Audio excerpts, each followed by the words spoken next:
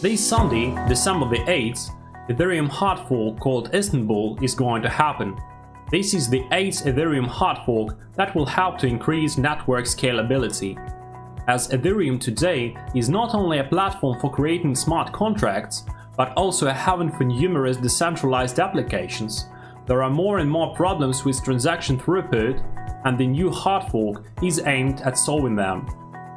It will also provide compatibility with the Zcash cryptocurrency, increase the scalability of solutions based on zero disclosure proof technology, and change the cost of various operating codes in order to complicate the use of spam blocks. Will it increase the cost of a second cryptocurrency? We'll know that very soon. Deutsche Bank analyst Jim Wright stated that the next decade can become a time of cryptocurrency breakthrough because the existing fiat system doesn't look stable.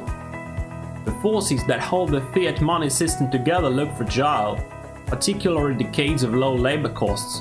Over the next decade, some of those forces could begin to unravel, and demand for alternative currencies, from gold to crypto, could take off, he stated. Let us remind you that according to the ex-world chess champion Garry Kasparov, Governments create financial bubbles by printing money in unlimited quantities, whereas Bitcoin has a limited emission. This week, Bitcoin exchange rate shows price reversal and the expected mark is $8,200. An analysis of weekly dynamics shows that Bitcoin was mostly blocked in a bear position for almost 6 months.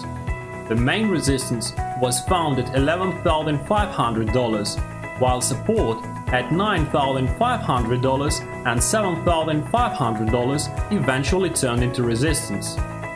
In general, as Coinbase quotes show, cryptocurrencies are growing and there is a positive market dynamic.